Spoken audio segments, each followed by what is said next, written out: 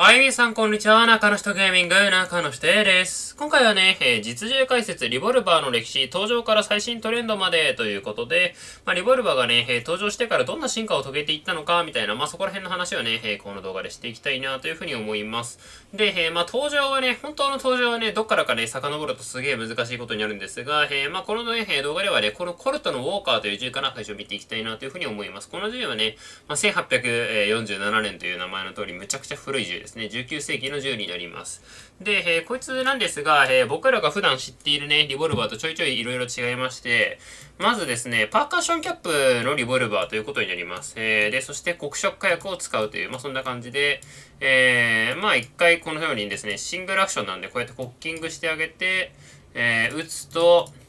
このようにハンマーが落ちて、よいしょ、ガチャーンと落ちて、パーカッションキャップっていう、ここのね、まあ、キャップ火薬みたいなやつですね。モデルガンのキャップ火薬みたいな、ああいうやつが潰れて、バーンって潰れて、それが火がついて、ここの黒色火薬、えここのつぶつぶですね。これがなくなって、てか燃えて、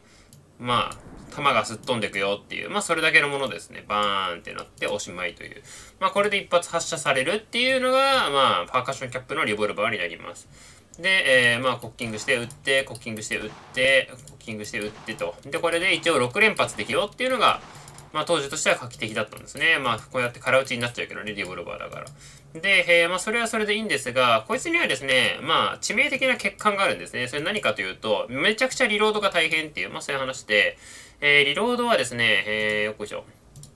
一応ちょっとスローをかけるんですが、えー、リロードはですね、めちゃくちゃめんどくさくて、まずちょっとこう、スコックして、して、で、これで、えー、ちょっと傾けて、んで、パーカッションキャップをまず取り外すのか、えー、キャップを取り外して、ここのね、使用済みのキャップを取り外していって、取り外して、取り外して、取り外して、6個取り外したら、えー、火薬を持ってきて、よいしょ、ちょっと断面図の方がわかりやすいですかね。こうやって火薬を入れて、弾を入れて、弾、鉛の弾入れて、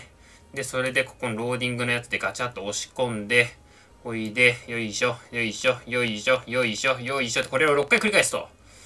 6回繰り返して、で、そして新しい新品のパーカッションキャップを持ってきて、ああいうキャップ火薬みたいなやつですね。これを6個つけてあげて、よいしょ、よいしょ、よいしょ、よいしょ、よいしょ、よいしょして、それでやっと完成という。まあそういうことですね。これはちょっと今、まあ実際問題早送りでやったんで、まあそんなに時間かかってないですけど、まあ実際問題は本当に人とね、銃撃戦しながらね、こんなことしてたらね、わけわかんないじゃないですか、普通にね。まあだから、こういう方法は、えー、まあ逆境というね、えー、今では当たり前ですが、逆境が登場することによって廃れます。それが、シングルアクションアーミーとかの時代ですね。えー、シングルアクションアーミーと、えー、スミスウェストのスコフィールド君はほぼ同じ時期に出てきて、えー、ちなみに SA、シングルアクションアーミーが勝つんですが、まあ、そこからね、コルト社とスミスウェストン社のね、長い対決というかね、ライバル関係が始まるんですが、SAA ですね。SAA は、えー、さっきよりははるかにマシになって薬莢が登場していますね。薬莢が登場しているので、このようにもう、なんていうの、火薬がこの中に詰まってるよっていうのが画期的なわけですね、薬莢は。で、えー、まあ使い方としてはまあ普通にシングルアクションリボルバーなんで、コッキングして撃つっていう。まあひたすらコッキングして撃って、コッキングして撃って、コッキングしないとね、リロードできないからさ、とりあえずコッキングして撃つんだけど、まあこんな感じなんですが、まあこいつもですね、まあ、こいつはこいつで、まあなんかこうやってコッキングして撃つのはいいんですが、リロードがまためんどくさくて、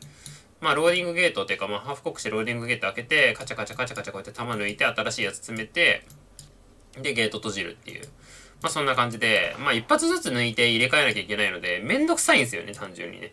単純にめんどくさいので、まあやっぱり、うん、どうなのっていう、まあそういうところですね。で、だがしかしですね、昔はそんなになんか、早くリロードできるみたいな重要視されてなくて、まあこいつがライバルだったんですね。SAA のライバルだったのがこいつなんですね。えー、スミスウェストのスコフィールドしたんで、まあ、こいつもシングルアクションリボルバーなんですが、まあある意味こっちの方がモダンっちゃモダンだったんですね。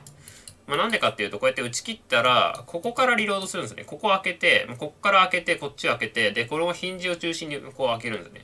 カチャッカチャってやって、こうやって、こうやってリロードするんですよ。ウェブリー系のリボルバーと一緒ですね。えー、イギリスのウェブリーコズベリーとか、ウェブリー系のね、リボルバーと一緒で、ここでリロードするんですが、これってちょっとこう、閉鎖方式として、ここら辺弱いって話になって、えー、当時は SAA が採用されたよっていうね、このシングルアクションアーミーの方が採用されたよっていう、まあそんな感じになっています。で、えー、まあ、その後ですね、えー、まあ、徐々に徐々に第一次世界大戦とかに入っていくわけですが、えー、その頃に登場してくるのがウェブリーとかですね。まあ、それぐらいの時期になってくるとね、ダブルアクションのリボルバーが登場します。ダブルアクションは、要は、こうやってカチャってやってトリガーを引くんじゃなくて、いきなりトリガーを引いても弾が出るっていうやつですね。まあ、この方が便利っちゃ便利なので、まあ、こういう銃が登場します。ダブルアクションリボルバーがそろそろ登場してきて、まあ、ウェブリー君とかだと、まあ、こうやってサクッとリロードできて、まあまあ便利じゃないっていう、まあそんな感じですね。で、えー、他にもですね、当時はね、えリボルバーがいいかオートマチックがいいかみたいな、まあそういう対決が激しい時代だったので、まあ今となってはね、まあオートマチックの方が圧倒的にいいだろうになりますが、まあこんな感じのね、えー、こうギザギザがついててね、ボールペンみたいにこう、なんかなるやつとかね、まあこれウェブリーフォーズベリーっていう銃なんですが、まあこういうのも登場します。まあ操作的にはウェブリーとそっくりですね。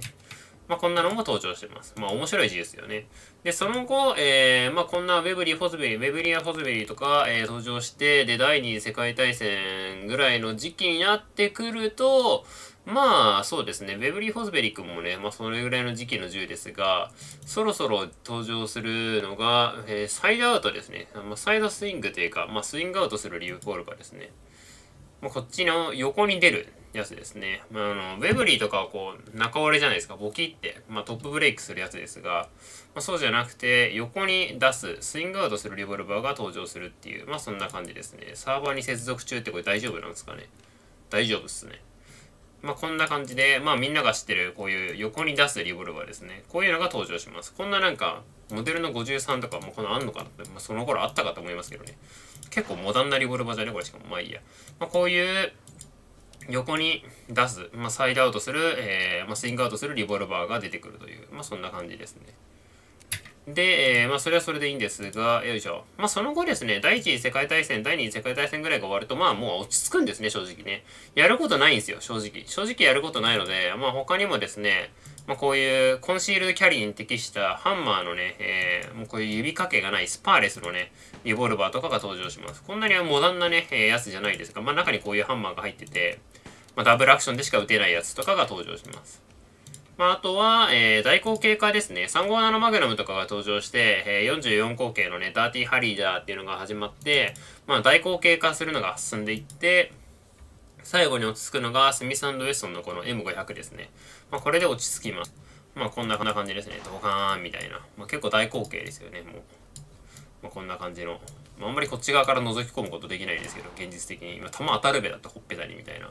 まあ、そんな感じですが、えー、まあ、こういう大口径の銃が登場したりとか、あとね、えー、安全管理みたいのもね、結構、まあ、なんていうんですかね、リボルバーって安全装置がないので、マニュアルのセーフティーがないので、こういうロックキーとかがね、まあ、出てくるっていうのもちょっとモダンですよね。ロックキーつけるとね、鳥が引けないっていう、安全装置の代わりになるっていう、まあ、そんなやつもあります。まあ、そんなもんですね。まあ、そこからは本当にもう、いろいろカスタムしようぜとか、まあ、そういう世界に入っていくので、まあ、ちなみにこうやって抜くんですけどね。まあ本当に、まあそうですね。やることはないんですね。もうこんなことは別に昔からやる気になればできたので、そんなに、まあ正直リボルバーっていうのはあんまり進化の余地が、もう第二次世界大戦終わったぐらいからないっていう、そんな感じで、まあ、やることないから、こういうチアッパライノみたいなね、クレイジーのね、ハンドガン出てくるっていう、まあそんな感じですね。ドーンみたいな。ライノちゃんは、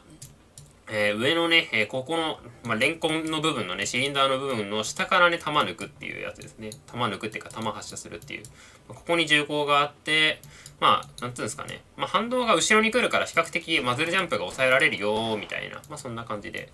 なってます。あとは中身とかもね、もう芸術としか言いようがない中身ですよね。こんな感じのね。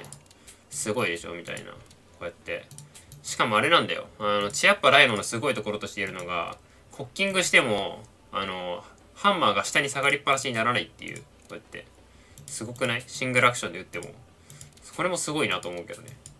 まあそういう不思議なライノくんとかも登場して、まあ超最新のトレンドとかだとあれですよね。